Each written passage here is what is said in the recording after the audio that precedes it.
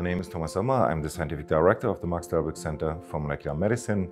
I'm responsible for the scientific content of the institutes, for the topics, for recruitments, and I'm responsible to integrate all different views and opinions about our scientific approaches here at the institute. I wish you all Merry Christmas and a Happy New Year. Mein Name ist Heike Graßmann, ich bin die administrative Vorständin am Max-Delbrück-Zentrum für molekulare Medizin und zusammen mit dem wissenschaftlichen Vorstand leite und führe ich die Geschäfte am MDC und repräsentiere das MDC nach innen und nach außen. Ein herzliches Dankeschön an alle MDClerinnen und MDCler für die großartige Unterstützung auch in diesem Jahr.